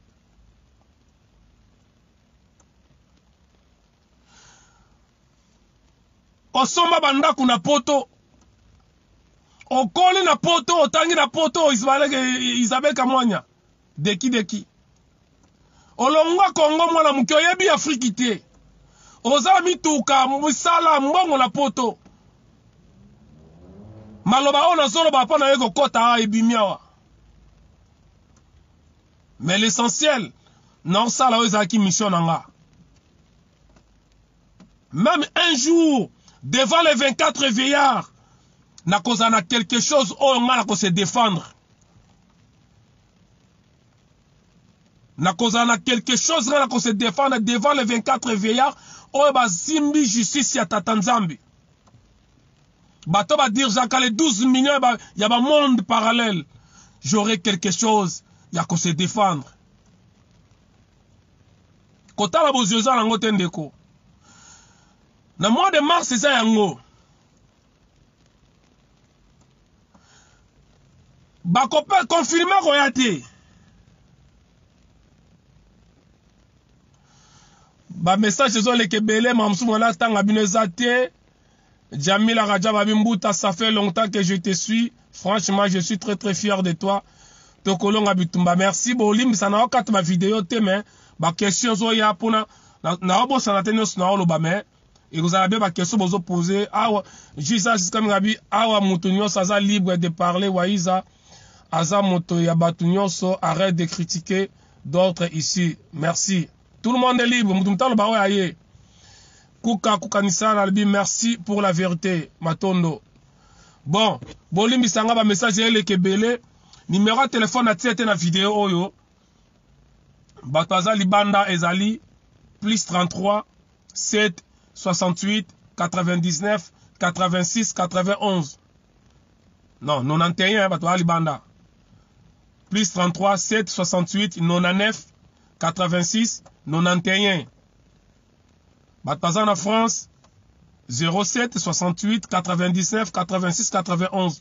ou bien bokota ba video na nga nyonso ya kala na YouTube na biso ya Ipo Wise officiel bo s'abonner numero eza wana bato nyonso ozalaka nango Jesus Kamgabi euh, papa Wise Roger Baka aza lokuta nazoluka ye na sola na ye bon yo moko eminoko sola na ye mais donc wana mois de mars bokozela confirme ekoya te pourquoi confirme ekoya te soki baconfineli bareconfine bato ekotinda bato bakokoma na kanda bato bakokoma revolte desordre ekobima me bango balingi desordre wana ekobima parti ya mois de mai na mois de juin na mois de mai na mois de juin nzala ekokota voilà pourquoi nabete masolo ya jésus masolo ya koya ya yesu nzala makasi ekoya biloko na, na magasin ekozala te si mama shabi yo okomi kobangisa bato te bokoma nimero bato oza na nimero na nga eza wana nzala ekoya makasi mpo bato bakosomba biloko ebele magasin biloko ebele kosila Na realite kosila te bakokanga yango ya kokanga na nko mpo biloko esila te na poto. Tout ça bakotinda bato basi ya revolte bato bakoma na kanda. Bapousse bato okende kondima vaccin. Numero eza wana plus 33 7 68 99 86 91. Ngai naoloba moyen akoma ezala te. me bato baza na numero na ngai boyebi yango botia bandeko bazwa soit bokia ba video na ngai na chaîne ya ipo wise officiel toutes mes videos numero eza wana to na kati ya bavideo na ngai eza na youtube na facebook esika batalaka bavideo beta peuple mokonzi waiza bavideo na ngai banimero na ngai eza motu nyonso aza na nimero na ngai bakopuse biso na bu na kanda na nzala wana me bato oyo bakozala libanda bakozala malamu bato bakosomba baprovision temo bato bakosomba ya trop ndenge esalamaki na premier confinement ya turo ekozala makasi mingi Jamil Habib Macron est en train de jouer le même, le même jeu en France, lui et Félix. Mais bien sûr, Norbert Amasola Félix. Il y a Kotaba Covid, Norbert Tango. napesa bino programme ndenge ezoya ti na décembre napesa bino yango donc et après wana ntango bato bakoma revolte moto akozala su na shwa te wana varse eza nano obligatoire te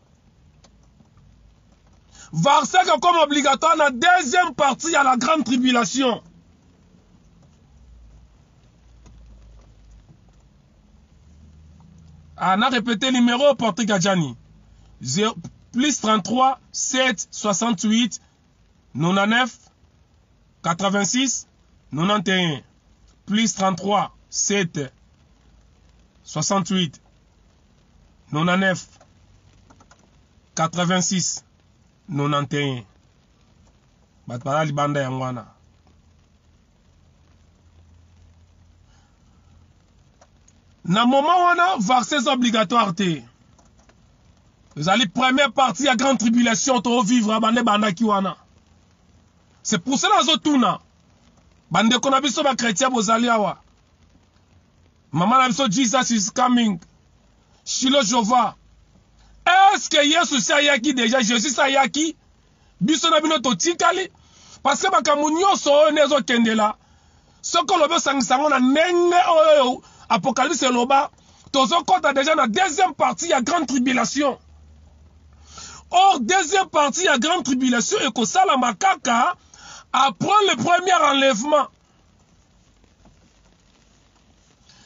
Non, Junior Kinabi, tu ne parles que de l'Occident, l'Afrique ne sera-t-elle ne sera pas touchée Si ekozala touchée, na volonté na bango, mais ekokoma te.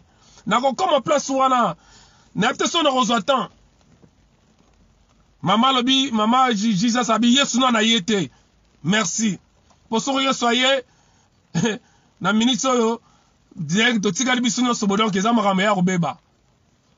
Espérons toujours azoya mais est-ce que makambo oyo ezo kendela boye? Ekomi na quelques jours te koya? C'est une question. Soki akoya. Soki akoya. Eza na quelques semaines te. JBCM abi awa deja bakomi ko préparer bana pona fermeture ya classe monde ezali lisusu kitoko te Esi na komi yango na titre wana JBS papa. Monde ya monde oyo ya lelo si ekufi tobandi monde mususu. Et ceux qui pensent que mokili ekozala kaka ndenge ezalaka mawa na bino. Soko ozokanisa liberté ozalaka na yo ya kende koliaka ntaba ndenge olingi mawa na yo. soki ozokanisa ke soki olingi oke mosala olingi oboyi olingi ovoyage olingi osali ozokanisa toujours ndenge wana mawa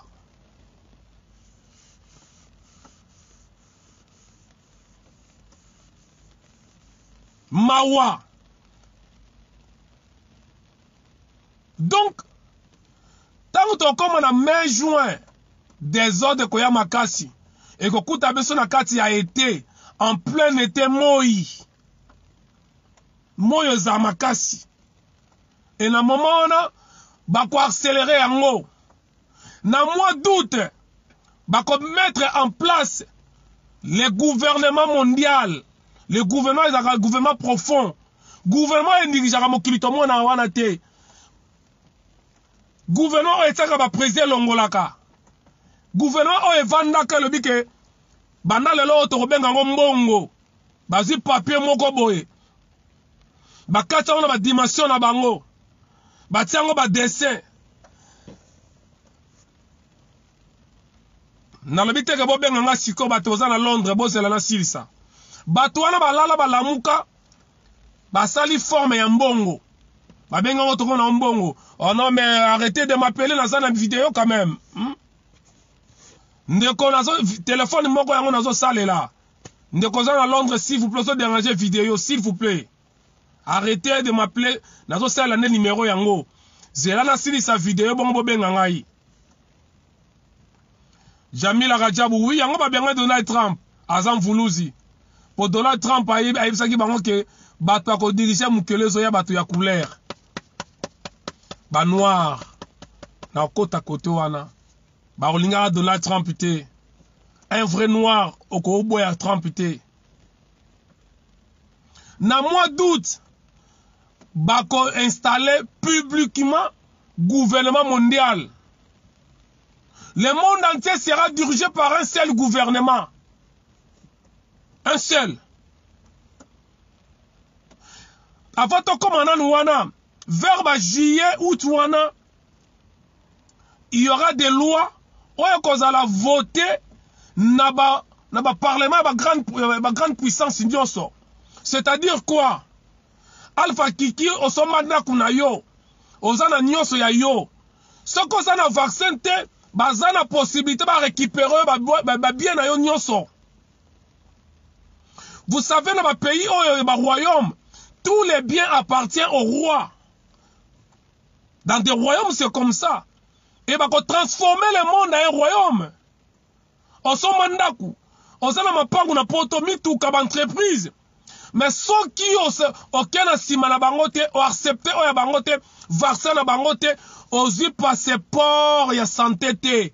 kombo na yango passeport ya sante yo oza kumisa okoma british yo okoma yo okoma na yo nani to bane nini okoma na yo américaine yo okoma na yo français française ah nga nakoma na nga belge nga okoma soki italien bakobotola mikanda wana ce n'est plus batitre de séjour boza na yango moto eza na valeur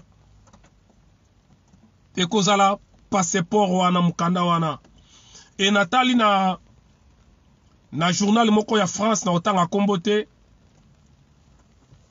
deba baosala misusu bazondima babema passeport vert misusu baondima yango misusu baoboya deba na se bandi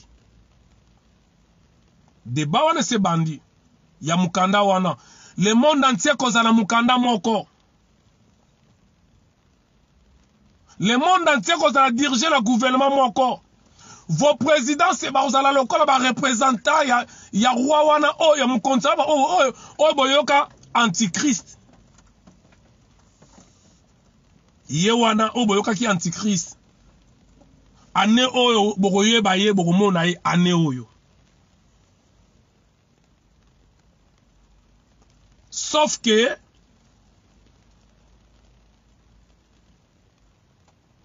soki to continue oui passeport covid ezobima kala te bamouvement ezosalama na parallèle makambo ya nzambe nde ezosamba etambola espérons que ba basala eloko moko te oh là là telefone ekino si la charge efrene ya bango ndenge efrenaki na 2020 la, le nouvel ordre mondial na, demi, na, na, na out ya ne oyo bokomona bokoyoka moto boyokaka nkombo ya antichrist me bakotikala koyebisa bino te ke ye wana nde antichrist te voilà pourquoi nalakisa bino tout est code bokomona ye Voilà pourquoi on a tout Jesus is coming. Est-ce que Jésus déjà ya? Parce que antichrist akozala kaka installé après l'enlèvement. Mais awa sikoyo makambo yango ekomi déjà kotyama en place. Yesu Jésus ayaki bato totikali to nini? Soki eza bongo te, pourquoi baevenement nyonso ezosalama exactement ndenge alobamaka na Bible, mais ezo respecte batemps mosusu te? Ça, c'est une question que moi je me pose. Je ne mets pas en cause ou doute makambo ya Bible, non. Malaoka mambo na bi capitale na mboka ya ba juif. Ah oui. E mboka wana Israël ezali Israël oyo oyebi te. Wana ezali mboka ba démon. D'ailleurs, parlons Israël wana esi ba premier pays na monde ewuti koloba yango awa vaccin ezali obligatoire je ne sais pas si vous êtes au courant jamila kalabi yango macron aboya kobota mpo na koprepare mission na ye mais ye ayaki, ayaki na mission na ye eyaki yango oyo ye mission ayaka yango oyo ancien président wana na kotanga nkombo te bokanisa te ke ye mwa moto abaki akoserepresente te ye moko ano ah Ordre ewutaki na likolo. Retirer masolo. Mwana oyo to preparer na classe na biso abima wana. Jesus Kangabi, Papa Waiza, oyo ezali ebandeli ya souffrance seulement. Ok. Donc, bako installer ye makambo nyonso. À partir ya novembre, vaccin kozala obligatoire. vaccin ekozala obligatoire novembre décembre ya ne oyo retenez bien cette video naloba yango na janvier awa tozonga me mikolo ekoya oyo akozala na manœuvre akobima akoka su kobima te maintenant eloko na ezoleka na 2015 un politicien français aleka na tv aloba bapose baquestion nabosani nkombo na ye yanike balenda loabi ya solo vraiment na makambo ozoloba nzambe kaka sunga biso vraimen nzambe kaka leo mosusu osala ya te na miniti oyo eloko osala eza te eloko akosala eza te bandeko na ngai me bango bazoloba me mokolo mokili nani alobi te omwaki ezala mpe projet na ye ezala ye moto apermettre yango me nandimi te makanisi na bango ezali ya nzambe nga nazoloba awa nazotya point final te nazotya bavirgule mpo moto atyaka point final C'est le rédempteur. Il s'élève toujours le dernier. De qui, de qui abus, et pourtant gouvernement ezoloba, eza obligatoire te vaccin. Oui! Bakoloba que vaccin ezali obligatoire te. Mais mikolo ekoya à partir ya juillet août. Bayebisi yo de qui Isabelle? Vaccin eza obligatoire te mais pour que lokosala azala na vaccin. ah intel vaccin eza obligatoire te mais mpo ozwa avion zala na vaccin galf mosanga bipesa biso solution nazali nzambe te naza place ya mokili naza na solution ya kopesa bino te apart koinforme oyo ngai nazozwa moto na moto azali libre ya koyeba position ya vie na ye yo omoni ke ezali important makambo nazoloba tamie oyo oh, omoni ezali important te tamie solution moto apesaka ezali nzambe tozala yango deja na bamaske me ntango eyindaki awa biso nyonso tomelaki kisa bokoko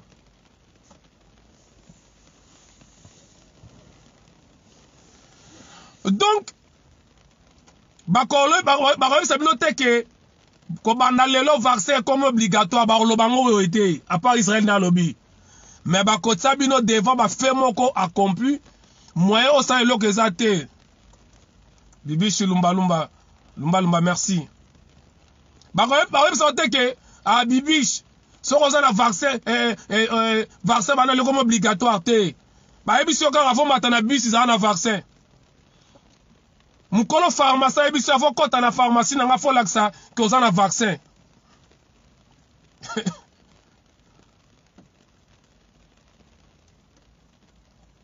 bayebi biso kaka bongo baoblige yo te alpha babiloka a ah, mama alpha yo olingi okende kinshasa Problème eza toza libre voyage bakanga yango frontière te mais avant kota na avion na biso zala na vaccin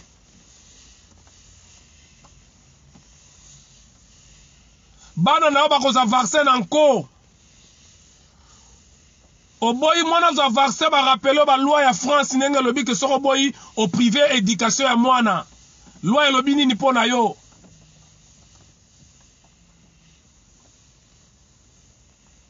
Sadi ba oblige vaccin sans que baloba ke ba oblige yango.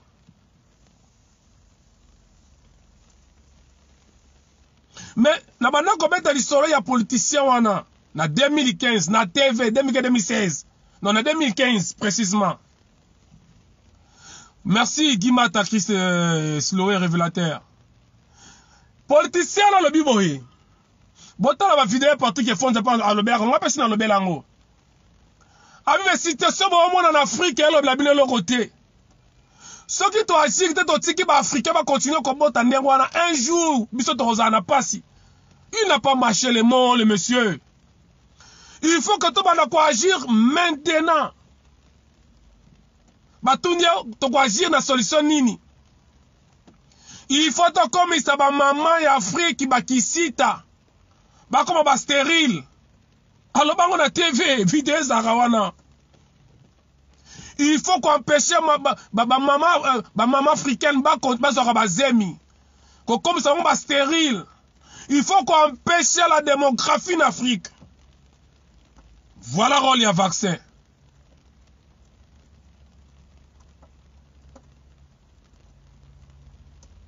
voilà role ya vaccin wana baza vise plus ya afrique yo oza sire oza sure vaccin bakopesa bato mwindo yango bakopesa mindele oza sure vaccin oyo macron akozwa yango bakopesa yo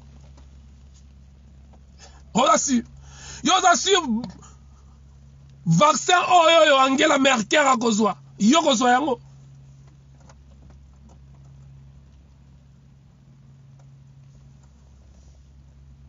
Simba Masha abi siko solution solution ezali na oyo akozala possibilité faut kozonga Afrique. Ah ouais. Maintenant, abongo ah so tozongi na Afrique, nalandi Felix Tshisekedi wa Kandambe. Traître le placebo. Yo kasi akoloba ni tanga vai na Sasu. Oh non, vaccin ezali obligatoire, tout tout tout, mais toza na possibilité mosusu mpe bakisi tokotala nanu te ozwaki 138 millions de dollars ya bill gate okondima vaccin docteur muyombe gauche soki muyembe abenga muyombe gauche alobaki yango ke toza ba candidat que nous avons été choisi nous avons été choisi muyembe alobaki yango bazongisa 38 million felix alobi yango wana video eza wana ke oyo alingi na kotindela yango felix abi ke vaccin eza obligatoire felix alobi yango nayebaka te mutu wana ah, je sais pas Félix alobaki que vaccin ezali obligatoire oyo oh, alingi video numero eza wana bobengi na pesa bino na peso video maintenant c'est quoi l'avantage de l'Afrique c'est quoi l'avantage ya mutu akozala na Afrique c'est quoi l'avantage bato akozala na Afrique Grace ya pauvrete nabenga yango grace.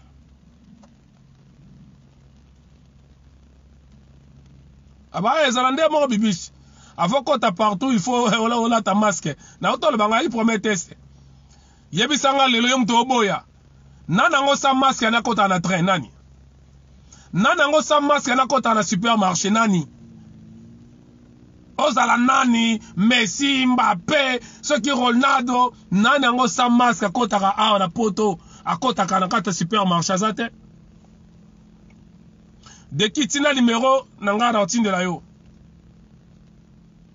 avantage afrique c'est grâce à la pauvreté quelquefois Malheur ezalaka bon.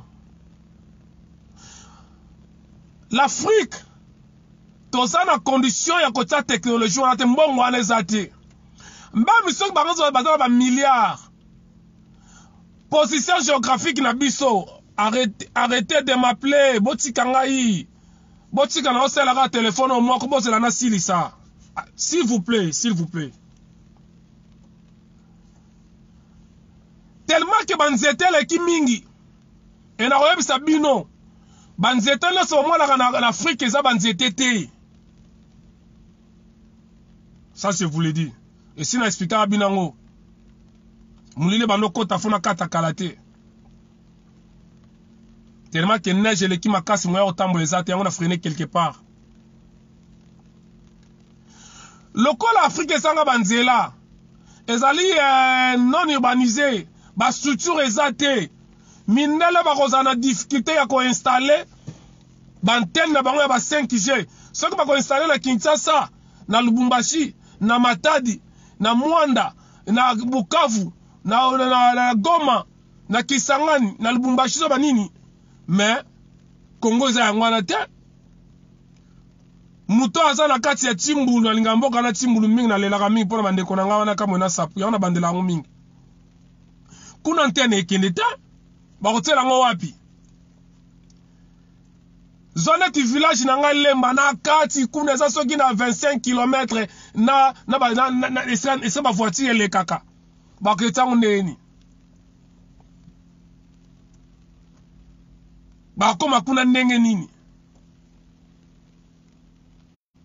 Mboka na nga Lemba ya mama na nga musika mboka mosusu ya banoko na nga na Mpangala pembe na Luzumu 14 km na route de Matadi kota Luzumu 14 à 16 km so yebisa ngai na mbongo nini Kongo eza nango ekende kotya bantene na mboka na kati kuna donc tokozala toujours na facilité ya kozala épargne Et en plus, nous avons la facilité na Afrique wana ya kotumba ya kobuka yango moto alandela biso aza te lokola awa na poto. Contrôle ekozala te, sécurité ekozala te. okooblige ngai nazwa vaccin te soko force ngai nake na village na biso to nake nanga place ozo na vai nanga bokoya mpe te et surtout encore wana ezali mabele ya bakoko na biso nous n'avons pas la même spiritualité na bango eh. et n'oubliez pas toza na plein centenaire ya kimbangu makambo ebele na ngai naloba awa ah, me lokola aza libanda aza bloke na neige quelque part ndambo wana alobi yango wana naosisa video apres tokosolola me eloko na ngai na rapele ya bandeko botyana mitu na bino ete mokili eza lisusu mokili oyo boyebaki te mokili e, eza lisusu oyo boyebaki wana te avant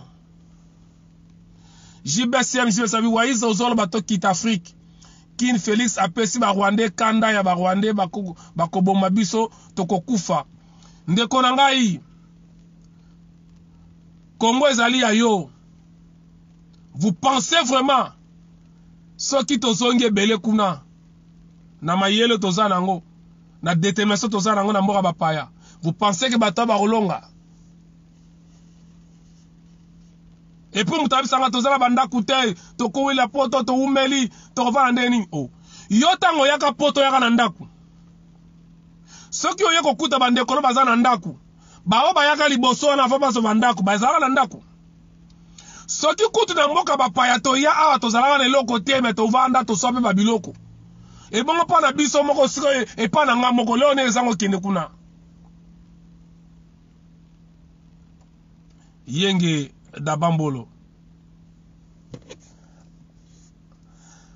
alpha kiki lisolo ya baange lisolo ya baange na prometaki fo nazonga nasala video ya baange ke na mokili oyo tofandaka bamisusu bazala ba ange bamosusu bayokomana aza mpe ange ayebaka teke aza ange me video wana ezosenga ngai une étude approfondie vraiment approfondie parce que ezali makasi mingi merci josé lomam solomami merci simba masha toyaka poto tozalaka na rien tokoma na rien tokoma so na quelque chose ebongo sikoyo nazonga pa na nga moko na obanga nini biloko nyonso ozwi na poto awa ozalaka nango te mais continue kolula biloko ya mokili oza na biloko moza esclave ozangi vaccin bakobotolo yango alpha kiki na prometa fana asala video wana ya baange mais nazwa temps na prépare yango a partir ya wana moto na moto aolanda ngai na, na bacomportement na yo okoyeba soki ozalaka ange ou pas Nakoya na ko expliquer bino. Tango omonaka eloko mosusu boye, nakopesa bino ba signe esika yo ovandi po o comprendre que ovandi na ange pembeni. Nakoya ba signe. Soki na banda fongola yango ya moke ba eluka nakota molayi. mais nakozonga alpha kiki bolimbisi encore nyongo na yo wana naoya nango yenge iger makengo makengo nakoya nango na explike biso tovandaka na banani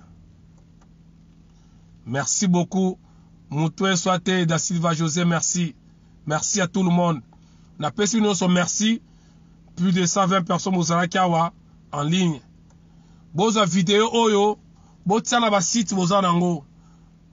Jesus ay papa wa Israël kini salite moko alobi eh, kini salite moko ya bandoki mboka ya salite papa tozali nanu na un grand travail pour notre pays baoyo baza kuna bazokufa chaque minute papa tosenga nanu nkolo apesa biso révélation ngai naboyi te moto na moto aconsulte nzambe na ye me naye naloba boye mboka na te ezali salite ezali ya yo oui simba masha mboka na ezali vide eza na place okokota ata 500 millions bato bakozala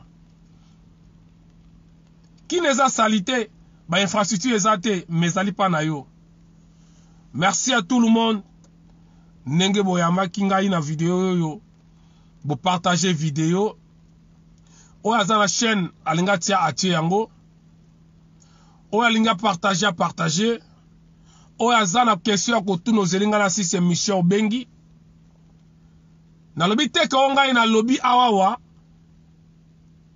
nazali na 100 na raison te makambo ngai nalobi kondima ngai te koboya mpe ngai te Mais sala lokola ba chrétiens bazalaki na Berry. Soki bateyi bango après babandaki kone ko verifier. Allez verifier. Bosala ba recherche.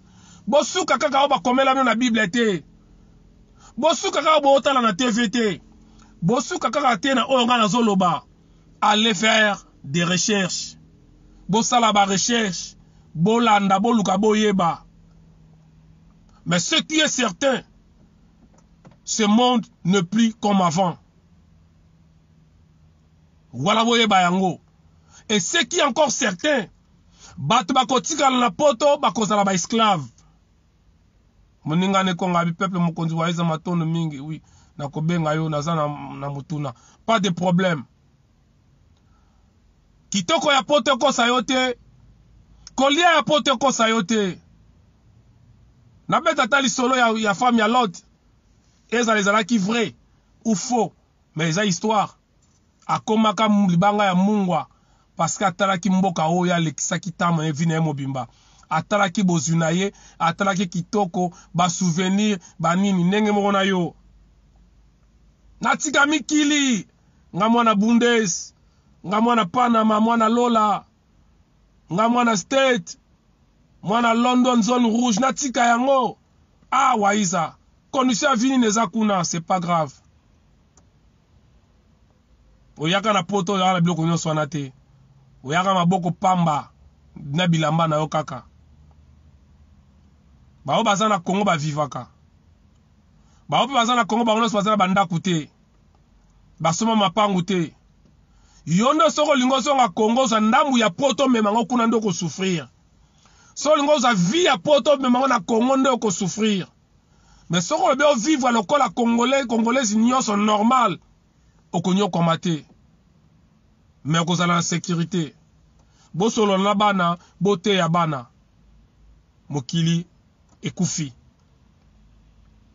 tozokota na monde mosusu na 2145 heure ya poisson ezosila donc heure ya bachrétien ezosila na 2145 je vous donne la date après tobanda heure ya vexo oyo ekokende ntina 4000 100 et quelques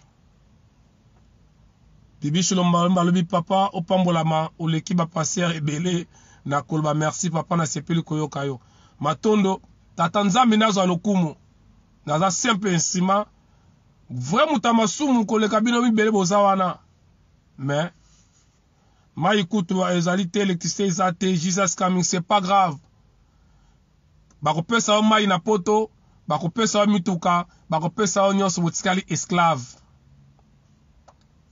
ba français balobaka un chien vivant vaut mieux que un lion mort mbwa oyo aza na bomoi aleki lion oyo akufa bapesa yo lion oyo akufa to mbwa aza na bomoi pona moko ingeta euh, suzi kisingi na bi plus mon frère tindela ngai mpe euh, lo, euh, lo, euh, loyola ya baange ah bon voilà nakoloba yango tokosolola merci natiki bino nalata na likambo ya suka koloba avant nakata moninga nekonga abimvuluzi kimbanga aloba ete ba, eh, ba, ba, ba, bana na ye baza libanda sikoyo bana na ye bakosuka ba wapi histoire esuki kaka bongo yango na toyebisa yo le rédempteur est vivant il se levera le dernier mokolo mokili nani alobi eloko te bandeko oyo tozopesa makambo oyo ezoya oyo bango bazosala Tango Nzambe asalaka mokili azalaka na souci te. Azalaka na souci te. Apesaki ordre na ba Elohim. Apesaka ordre na ba Elohim basalaki mokili. Le, le Elohim, le Dieu créateur. Botika eloba suka epa na ye. Nalingi nakata na naza likambo ya suka koloba avant ke nakata. Question. Djino kita abi matondo mbuta ingeta. Merci. Clarisse Ngalula okoti sikoyo, je suis désolé. Kota tala video na Ipo Waiza officiel na, eh, na, na Facebook na YouTube na nga na kotia yango ou bien bandela video na Peuple Mokonzi Waiza, est-ce qu'il y a une question, il y a quelque chose, une suggestion, likambo moko boye moto alingi aloba, remarque moto alingi asala, moto alingi kofinga mpe afinga, ngai nazalaka ndenge wana. Jesus Coming Soon, zongela mosala na yo Papa Waiza ya evangeliste, ngai nalingi yo yango nazozala clair na yo. Oui, mais oyo nazosala yango wana evangelisation mama. C'est ça l'évangélisation. Iger Makengo Makengabi bazali basimbi bazali na contrôle. Voilà, merci. Nana aza na likambo ya kosuka malauka mambwi na bi bandimaka te me kala te bakomona. Matondo Iger Mbuta bakokoka te Mbuta.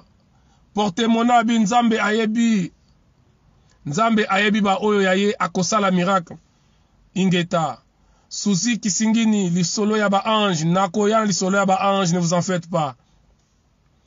Nakoya lisolo ya ba ange nakolakisa bino na maboko na bino ba ange na maboko na signe ya maboko. Ba signe oyo hein. Nakoya ko expliquer yango ba signe oyo ne vous en faites pas. Yannick Balenda Longo Malonda Abi merci beaucoup papa Nzambe azala na yo ozo ba bien papa matondo Nzambe akimbango akumama.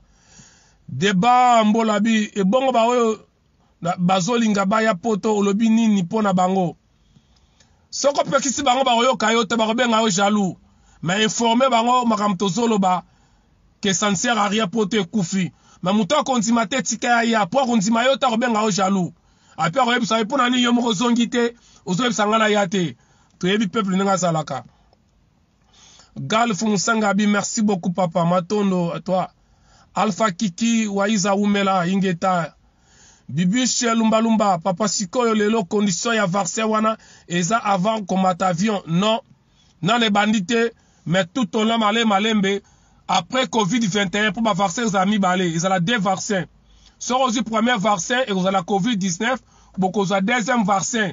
il faut ozala na deux vaccins wana nionso po ozua accès ya komata mikanda boza nango bakobotola yango mbuta mikanda boza nango bakobotola ata okoma française okoma français américain ozali étranger to nini meme bango mo baaméricain bana mboka bakozala so na mikanda wana te biso nyonso tokoma na mokanda moko babenga passeport passeport ya covid babenga passeport santé esi babandi ba discussion boyokaki yango donc euh, toyaka awa mpona kokosa bato te mpona kobangisa bato te iger makengo makengo alobi mbuta biso bana ya kongo ya kimbangu azali ingeta euh, james vianney mpasa bi j'aimerais savoir où on, on, on avec cette, euh, cette citation papa je l'ai tout expliqué na video bandela okoyoka yango bolimbisi bien soki obengi tokosolola eh, gala répondre kuna beaucoup merci beaucoup papa nzambe azala na yo ozoloba bien ok eh, gal eh, fumu sangabi baya te merci bon natiki bino molile bando kota couvre-feu ezobanda j'espère que nzela soki ekomi bien je peux rouler neige ebikoi journée mobimba nayebi te nakokoma ndako ndenge nini matondo nzambe ya kimbangu yo moto ondimelaka yesu tikala na jesus ondimelaka jesus tikala na jesus yo ondimelaka yesu tikala na yesu natangi jesus na yesu hein? yo ondimelaka buda garde foi na yo epai ya buda yo ondimelaka profete mohamed oyo bobengaka maomei Tikala na ye.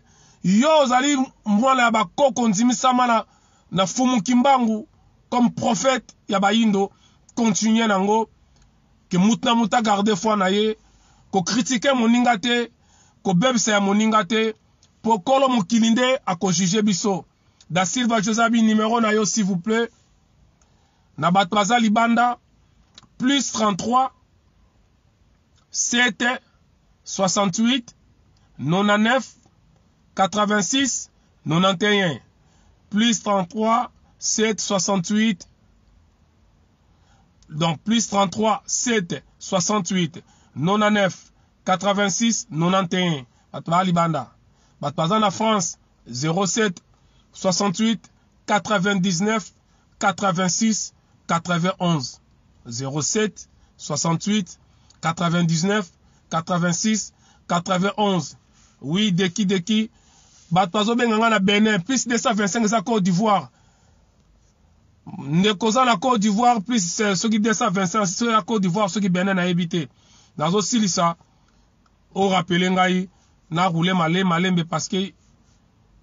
Il a neige toute la journée Alpha Kiki Kimbangu Fula Mwana Yesu nde makambo Ingeta natiki bino bye Iger Makengo Tata Nzambe ya bakoko abatela yo matondo Ingeta maloba na bino ekomi bakoko bayoki Kimbangu ayoki Yesu Masiya Yoshua Masha ayoki pe ayanoli Ingeta tokutani mbala sima